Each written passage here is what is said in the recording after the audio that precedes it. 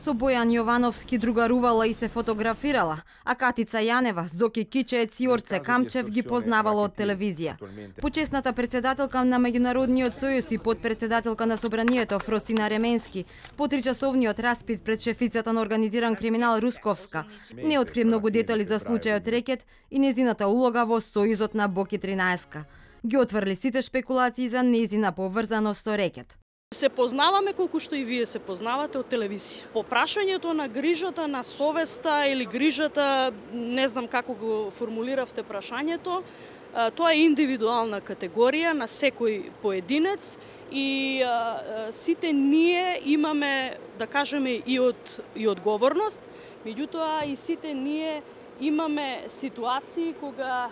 во животот а, и другаруваме, и сме во роднинска врска со луѓе кои што може би сториле или не сториле нешто, а сме се биле во некаква а, комуникација, тоа не значи а, дека тоа повлекува и некаква грижа на совест, особено ако не се однесува за действија кои што се поврзани од самите нас. Рече лично не присуствувала на подпишувањето на договорите тешки околу 1 милион евра на Меѓународниот сојуз на Боки 13 со бизнисмените Силјан Мицевски од битолската компанија Пелестер и Ардијан Амзовски од струшката Dream Building. Чесното председателство или почесното членство во ниту еден момент не подразбира формално правна обврска за било какво учество и одлучување во органи на и на политичка партија и на невладина организација, туку самиот контекст или термин почесно председателство